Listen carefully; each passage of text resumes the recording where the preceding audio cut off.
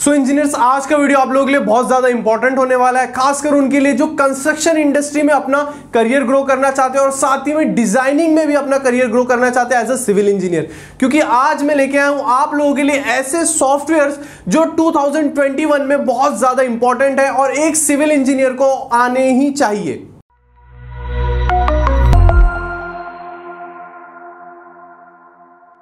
तो स्वागत करता हूँ मैं आप सभी का हमारे यूट्यूब चैनल सिविल गुरुजी में। मैं कॉर्पोरेट ट्रेनर फजल रहमान। जैसे मैंने आप लोगों को बताया कि आज का जो हमारा टॉपिक है, वो सॉफ्टवेयर के ऊपर है, जो एक सिविल इंजीनियर को आने ही चाहिए। सबसे पहले हम बात करेंगे बहुत ज़्यादा इंपॉर्टेंट सॉफ्टवेयर की, जो है हमारा ऑटोकैड ऑटोकैड एक ड्राफ्टिंग सॉफ्टवेयर है, जो सिविल इंजीनियर्स और आर्किटेक्ट सभी यूज़ करते हैं। और हमारी ये ट्वेंटी की लिस्ट में इसलिए है क्योंकि इसका इस्तेमाल बहुत ज़्यादा ज़रूरी है।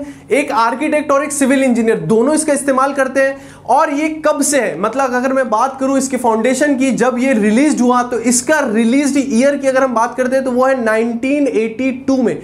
1982 दिसंबर में जो है ये रिलीज़ हुआ और तब से लेके अब तक के इसका इस्तेमाल बढ़ता जा रहा है और आगे भी इसका इस्तेमाल किया जाएगा। तो ये एक ऐसा सॉफ्टवेयर है जो आप लोगों को आना ही चाहिए। इसके बाद हम बात करते हैं एक सॉफ्टवेयर की, जो है रेविट रेविट जो है ये थ्री के लिए यूज़ किया जाता है। ऑटो कैड में भी थ्री का काम होता है। लेकिन जब इसके रिज़ल्ट की बात करें तो रेविट का रिज़ल्ट बहुत ज़्यादा अच्छा आता है। तो रेविट भी आप लोगों को आना चाहिए। उसके बाद हम और एक थ्री की बात करेंगे, जो है three D X Max three D S Max भी थ्री डी मॉडलिंग के लिए यूज़ किया जाता है। उसी तरीके से गूगल स्केचअप भी। तो ये सारे सॉफ्टवेयर थ्री के लिए यूज़ किए जाते हैं और ये सारे आपको आना ही चाहिए, क्योंकि एज ए डिज़ाइनिंग इंजीनियर अगर आपको अपना करियर ग्रो करना है तो ये सारे सॉफ्टवेयर आना चाहिए। टू के लिए ऑटो कैट बेस्ट है। थ्री के लिए जो मैंने आप लोगों को ये बताया Revit three D S Max Google SketchUp ये सारे आना चाहिए। लेकिन अब हम बात करते हैं रेंडरिंग की। तो कभी ना कभी अगर आप लोगों ने थ्री मॉडलिंग की होगी तो उसका रिज़ल्ट जब देखा होगा तो जब हम लोग रेंडरिंग करते हैं सॉफ्टवेयर की तो उसमें काफ़ी ज़्यादा समय लग जाता है टाइम लग जाता है और उसका रिज़ल्ट उतना अच्छा नहीं आ पाता। तो इसके लिए लूमियन है। लूमियन एक रेंडरिंग सॉफ्टवेयर है जिसका इस्तेमाल होता है सिंपल और फास्ट आर्किटेक्चरल विजुअलाइजेशन के लिए। विजुअलाइजेशन के लिए एक बहुत अच्छा सॉफ्टवेयर है ये। सिविल इंजीनियर्स और आर्किटेक्चर के पास ये होता ही है। तो इसके बाद हम बात करेंगे वीरे की वीरे भी एक प्लगिंग सॉफ्टवेयर है, जो एक थर्ड पार्टी सॉफ्टवेयर है, जो आर्किटेक्चर विजुअलाइजेशन को काफ़ी ज़्यादा अच्छा कर देता है। इसके बाद हम बात करते हैं एनस्केप की। एंडस्केप भी हमने जैसी बात की विजुअलाइजेशन के लिए, उसी के बाद वर्चुअल रियलिटी के लिए भी बहुत ज़्यादा अच्छा होता है और एक वर्चुअल रियलिटी आप लोगों के सामने बिल्कुल ला के रख देता है, बस एक क्लिक में। यह भी एक बहुत अच्छा रेंडिंग सॉफ्टवेयर है। इससे भी आप लोग जो है बहुत अच्छा रिज़ल्ट निकाल सकते हैं।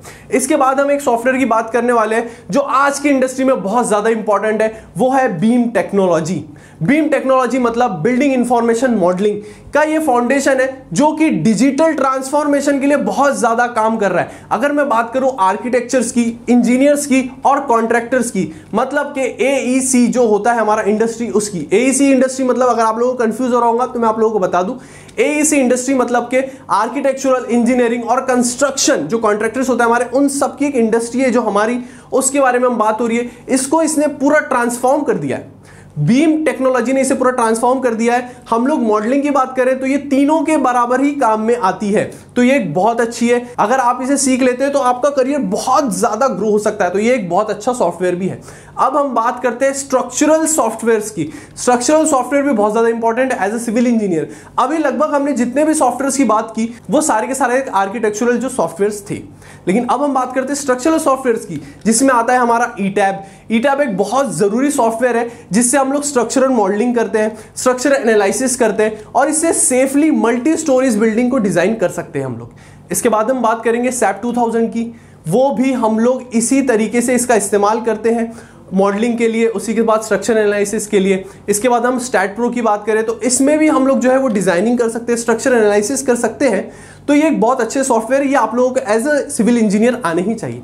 अब हम बात करते हैं एक लास्ट सॉफ्टवेयर की, जो है हमारा MX road M X road आप लोगों को आना चाहिए अगर आपको हाईवे कंस्ट्रक्शन में आगे बढ़ना है तो।